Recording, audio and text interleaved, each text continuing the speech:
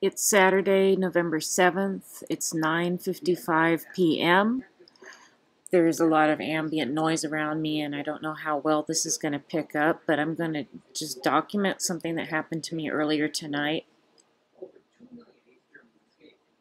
Probably around 6 p.m. I was walking home from this place, QFC, where I had gone to buy some food. I was going over in my head all of this, my medical history. Like I could tell my life story using medical history as a central point because I've just had so much, un, you know, unfortunately I've had to spend so much time dealing with doctors and hospitals due to this torture that I've, you know, and what I now realize is torture that I've been put through my whole life. Um, so I was kind of going over the past 20 years in my head, especially after I'd come to Portland, because the stuff that I'd experienced, I realized it actually became worse and worse after I had moved to Portland. And there's a whole history with that, too, if, in terms of me trying to get somewhere in my life and the different times that I really, really, really tried to climb up and better myself and get somewhere in my life. And the kinds of things that have been hap- done to me in order to prevent me from getting anywhere in my life. The retaliations. Anyway, so thinking about that a lot. How could I present this in such a way that I don't end up on going off on all these, you know, too many tangents that I can actually start to make some points, um, or make it relevant to my current experience and you know the current conundrum, which is really an ongoing conundrum. It's just the closer I come to either to solving any particular problem, the more backlash I experienced. So that's what I was thinking about while I was walking back from QFC here. Um, so I was walking towards 60th on East Burnside Street right here. I came to one particular house, and it was right next to this place called, it was a tavern. Okay, so where is QFC? That's QFC. I'm walking towards 60th. QFC is here. So I think it was right around here. Let's see. This is QFC. It was further down than this.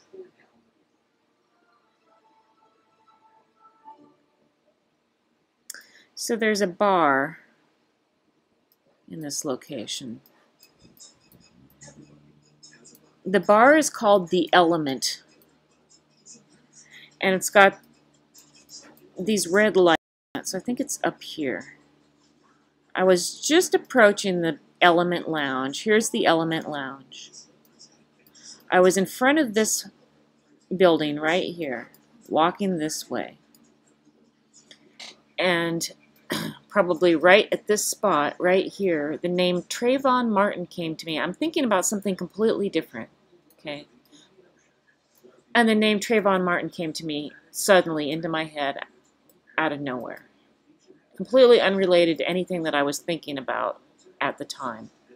So I'm just going back over my history and looking at this. I've been over this region before, but I'm going to... Trayvon Martin was 2012. Here's 2012. This place was called the Copper Rooster in 2012. I remember that now. And then this is what this place looked ne like next door. 2012. This became several different businesses. It, right now, so let's, let's see what it is. Right now, this is a brewery called Lakem. I think it's called Lakem Brewery. This might be something. So when I was walking to the store, I actually noticed something going on here, which is this Jamaican food cart here. And I looked at the menu of this Jamaican food cart. Before it was Lakem Brewery, it was a um, it was a Thai noodle house called Thai Me Up. And I went in there, I had gotten food from there a couple times. I went in there once, there was cockroach on the wall right in front of me. Made me think that something was going on with that, that maybe that cockroach was a, you know, was a mind control kind of thing. Um, I see a truck here in this driveway. So, this Jamaican food cart, I looked at it for a minute. I looked at the menu and I saw that the types of things that they were serving would be the types of food that an implant could potentially hide in, and I realized I would never buy food from this place. Um, so that's what I noticed headed down to the store, that there was a Jamaican food cart here, and they were serving types of food that implants could be hidden in. Walking back, I'm thinking about medical stuff, medical implants, and when I when I walk past this location, I get the name Trayvon Martin in my head. So I made note of it. I took some photographs just to, you know, help me remember that that had happened. And I continued walking. So I walked up this way. I'm just going to point out here. Oh, well, how did I end up over here? That was kind of an accident. Look, there's a bunch of colors painted here. So this means something.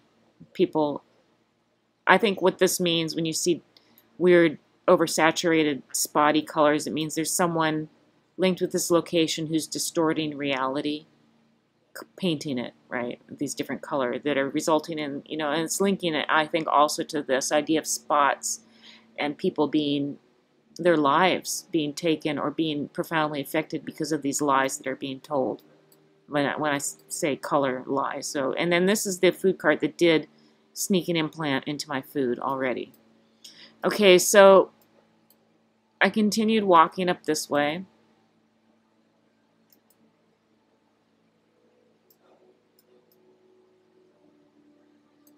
Photos from 2019. And then roofing done on this house, home in 2019. Well, where did I turn? I might have, this is 61st. I'm, um, I don't remember where I turn. but anyway, I'm going to go, so I don't know that I walked along this way, but I'm trying to get to the other point, because I continued thinking, I went back to thinking about what I had been thinking about, so I probably walked this way and then turned up here. Um, but then Tra the name Trayvon Martin came to me again, and this time, when it came to me, I was right in front of this house right here with a little library. This house seems to have a lot going on. You look at it over the years. This is 2011.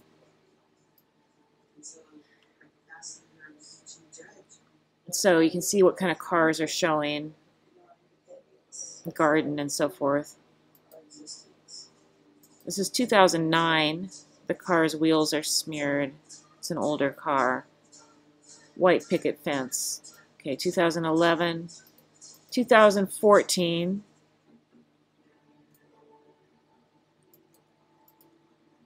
Two thousand fifteen, two thousand sixteen. Now the little library is there. 2017, there's more cars and more motorcycles it seems like it's probably the same residence, same type of garden and everything. So this is what we looked like in 2019. So I don't know. Was it this house specifically? It could have been something over here because this also seems to have gone through a bunch of changes. This is, um, let's go back to 2011. This is 2011. Looks like there's a brand new fence here. Is it brand new? Let's look at 2009 and see. Yes, it was brand new. So it was built between 2009 and 2011. Um, 2014, more work is being done. 2015, I said Trayvon Martin was 2012. I'm not sure that's correct. Let me just make sure.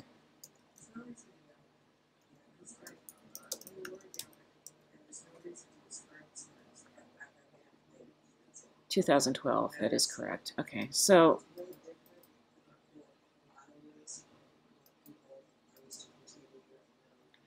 Two thousand seventeen, 2019, there was a whole bunch of building materials over here. You know, usually when you see a porta potty, it means there's renovation being done inside. I believe. I think that's what, and I see that quite a bit. So, I don't know. This was a random, it felt like a random click, and I ended up here at a new fence. 2019 on 62nd Avenue. Sometimes I think these random clicks are not as random as they seem. So this is 2016. This is 2019. So a lot of this kind of thing going on. New fences happening over the past few years. 2014. 2019. 2009.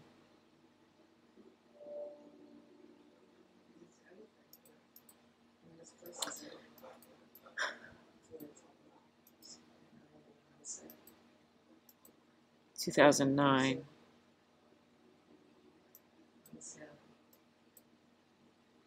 Two thousand eleven.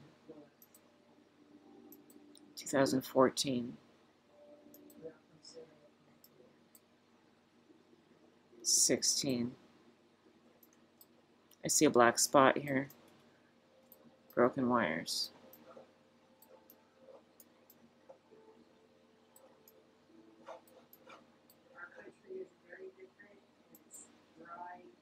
Two thousand nineteen. So Trayvon Martin. So the thing about Trayvon Martin is if this is a twin linked mind control event, then I should see some type of similarities to something linked to my family or to Chris's family. Usually, there's something that I see. And there's stuff. The guy named Zimmerman. Zimmerman's a name in my family tree, my father's side. George, the name George is meaningful. The name Michael is meaningful. Um, the fact that it was a uh, retreat at Twin Lakes, the idea of Twin Lakes. So that possibly, it could be a link to Lakem Brewery. This Lakem Brewing Company, I believe, is directly linked to the trafficking around me. Uh, why do I think this? Lots of reasons. Has to do with looking. I've looked at their website. I've, ever since they appeared, I was looking at them pretty carefully because they appeared right after the B.O.B. song called Elephant, in which he says at some point, Assalamu alaikum. And then all of a sudden I thought, you know, why is he saying that? And then immediately this place shows up. And there were other things about that elephant video that made me think that this part, well, I could say what some of those things were. Okay, so let's go back to this map. Let's take a little trip back to where I was. So there's the QFC again. So it's right around here. Okay, so right around here. Here we are. This is June 2019. This right here used to be a 7-Eleven. Uh, at some point, probably in 2019, let's see, let's go. This is September 2019. This is June 2019. I had a dream about an elephant where I couldn't tell what was the front side or the back side of the elephant. And then shortly after having that dream, I took a walk down this direction and I saw all of a sudden this new graffiti on the old 7-Eleven, which allegedly was closed due to a fire in late 2018. And what do I see here? It could be an elephant like looking thing. Like this could be an elephant's head with a trunk, and this could be the elephant's tail. But what's this here? Is this the back of an elephant or the front of an elephant, or is it something else entirely? I mean, obviously it looks like the name Dale, but there's some weird animal-like This looks like it could be an elephant's tail. This looks like I'm not sure what. This looks like it could be an elephant's head. So I thought, okay, well that's why I had this dream about an elephant and who what's the front or the back of the elephant that question you know then I find that there's a B.O.B. video called Elephant in which he says the word Assalamu alaikum this whole area is now this has been now torn down this whole parking lot was gutted it turned into a giant vacant lot and it's now being something else is being built up here right now um, this place here called Donut Queen Bakery and Pizza. Whoops. This is all brand new. This is new fancy. Okay, but this place called Donut Queen, wherever that is now, I just lost it. It's up here. Um, they've got a new sign. They, they seem to have done some renovation just last few months. Okay, and so then there was this place down here, which was the Noodle House, and then became Lakem Brewery about the same time. As you can see, that the elephant showed up. So Assalamu alaikum, elephant in the front, no room, truck in the back. What the heck is going on? Wasn't there even a truck? There's a truck right here. Um, So, therefore, I was interested in this Lakem beer. Who are they?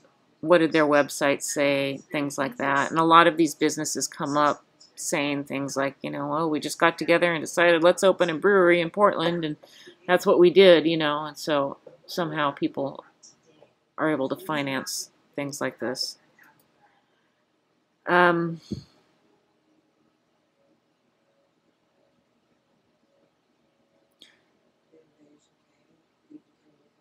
So, like Grateful Red.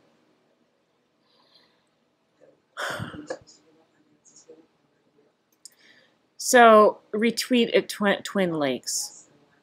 So, it makes me wonder there's the idea of the twins, the idea of lakes, twin lakes. There might be more to this there's this idea of Sanford, Florida. My I don't know if Sanford, Stanford, my parents, my family going to Stanford. I don't know because it's not exactly the same. If that's a link. A gated community. Link to uh, 18 miles northeast of downtown Orlando. So it was a newly built community in Florida. So in fact, this community itself may actually be something significant.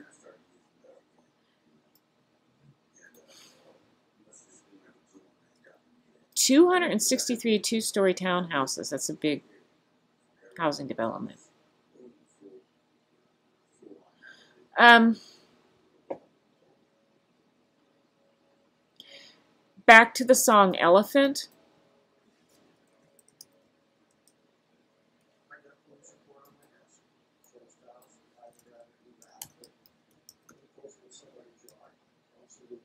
There's more than a casual nod to the White Stripes Elephant album.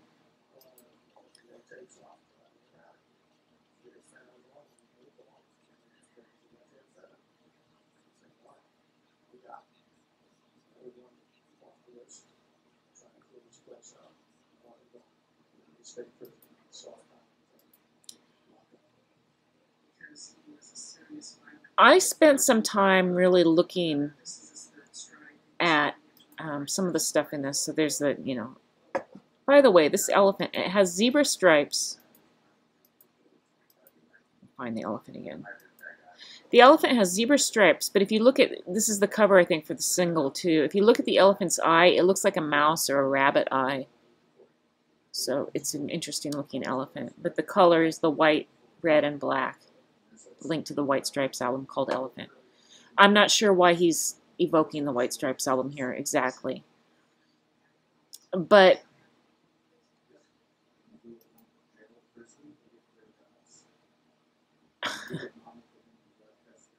I'm sure all of this stuff, like what he's got written on his hat and his jacket and all this is meaningful in some way. I don't know what the meaning is, but I got real interested in this scene here where he's sitting on a Mercedes in this parking lot where all these cars are kind of boxed in with these balloons wearing this green jacket with this cotton candy and so forth. Well, this cotton candy, I guess, is a different, a slightly different scene, but um, this one is balloons.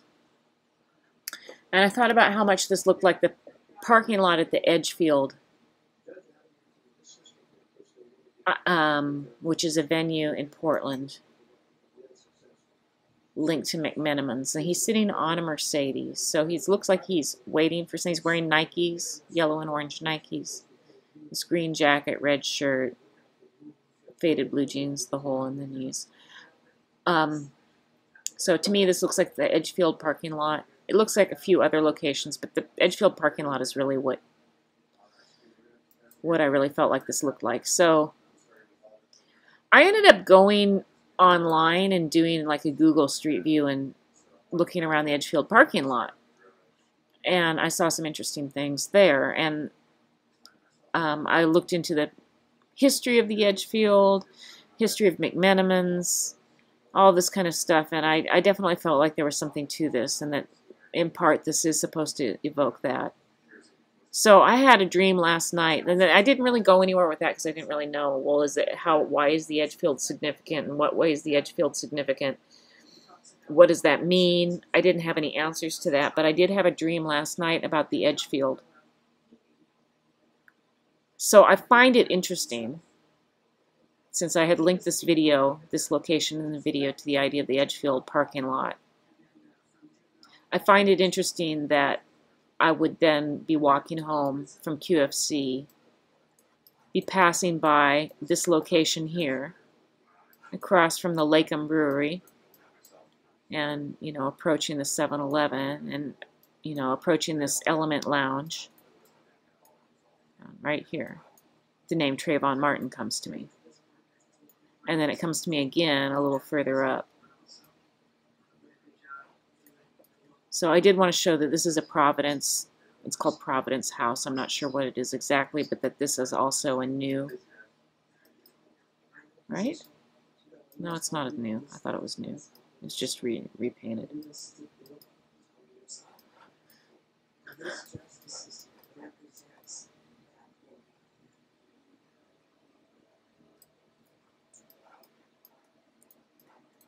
So, um, what I'm wondering is, is there a link?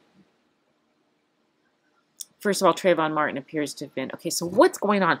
How is it that black lives are being used or connected to businesses in Portland? And I mean black lives that are taken either by other police officers or by other people. How is it that how is it that black lives being taken is related to development in Portland. Exactly. How does that work?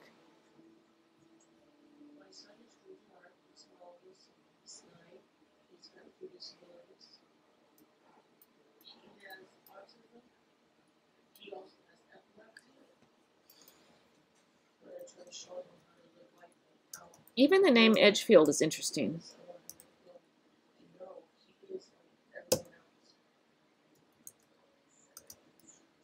Kind of feel like I should maybe come back to Edgefield at another time because I feel like I could end up spending some time on this, but this is what I'm talking about, just to show what I'm talking about. So the Edgefield, um, and McMenamins is kind of a unique thing we have around Portland in which historic properties are often opened and then repurposed into venues. And in the case of the Edgefield, it's a type of venue that has a lot of different, kind of a multi-purpose venue. So I've been to a wedding there. I've been to a Willie Nelson concert there. Built in 1911 as the county poor farm. And there's also, it's also associated with a, um, mental health hospital, like a, I think, and maybe even a jail. I'm not certain. I'm a little confused about all this stuff, but um, they've they've kind of de-emphasized some of that stuff. And I'll show the parking lot since I mentioned the parking lot, just to show what I mean.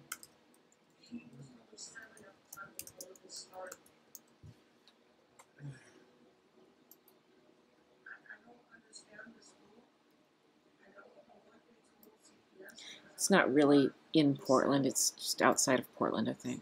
Okay, so here's Vietnam Veterans Memorial Highway again. Um, McMenamin's Edgefield. So let's look at the. So looks like this. So the concert venue is probably. Well, where is it? just you can kind of see. So here's Halsey Street. Here says Ruby Spot, Edgefield. There's something here. There's parking lot here, but I'm talking about a big grassy parking lot. Like where we parked when we saw Willie Nelson perform. It might be more like this.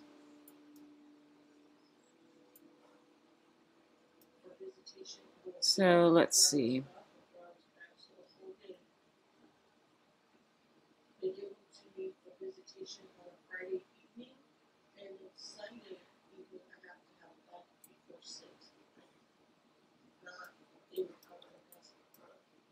So here's a parking lot at Edgefield.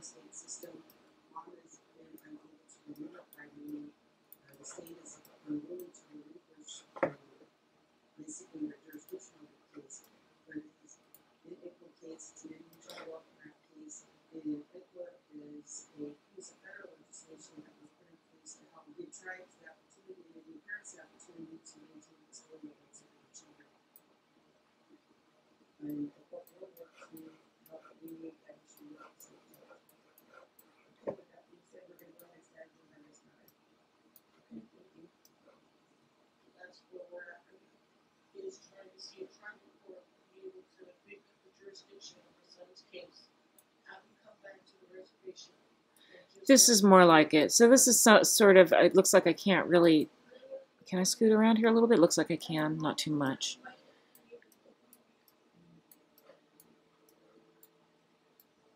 This is sort of like where we parked when we saw Willie Nelson. So it's this kind of thing. This type of parking lot. Big open grassy space where the cars kind of are all boxed in together.